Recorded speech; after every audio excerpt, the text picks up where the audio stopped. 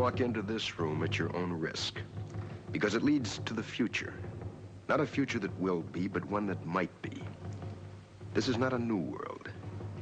It is simply an extension of what began in the old one. It has patterned itself after every dictator who has ever planted the ripping imprint of a boot on the pages of history since the beginning of time.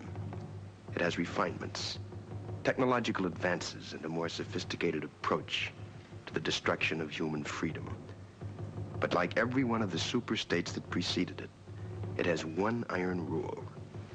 Logic is an enemy and truth is a menace. This is Mr. Romney Wordsworth in his last 48 hours on Earth. He's a citizen of the state, but will soon have to be eliminated. Because he is built out of flesh, and because he has a mind.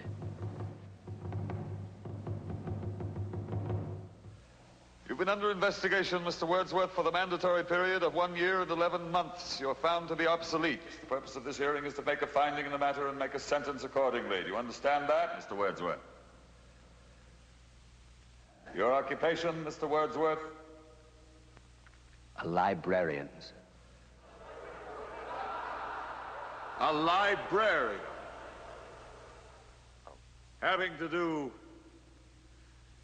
with. Yes, sir. Books. Since there are no more books, Mr. Wordsworth, there are no more libraries. The field investigators in your sector have classified you as obsolete. Your rights are as follows, Mr. Wordsworth. You are to be liquidated within a period of 48 hours. You are obsolete, Mr. Wordsworth. A lie. No man is obsolete. You have no function, Mr. Wordsworth. You're an anachronism, like a ghost from another time. I am nothing more than a reminder to you that you cannot destroy truth by burning pages. You're a bug, Mr. Wordsworth, a crawling insect, an ugly, misformed little creature who has no purpose here, no meaning. I am a human being. Delusions, Mr. Wordsworth.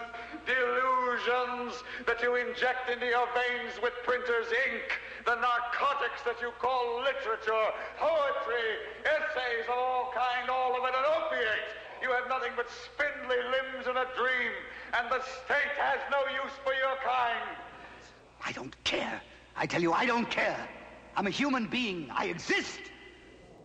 And if I speak one thought aloud, that thought lives, even after I'm shoveled into my grave. The Chancellor, the late Chancellor, was only partly correct. He was obsolete. But so is the state, the entity he worshipped. Any state, any entity, any ideology that fails to recognize the worth, the dignity, the rights of man, that state is obsolete.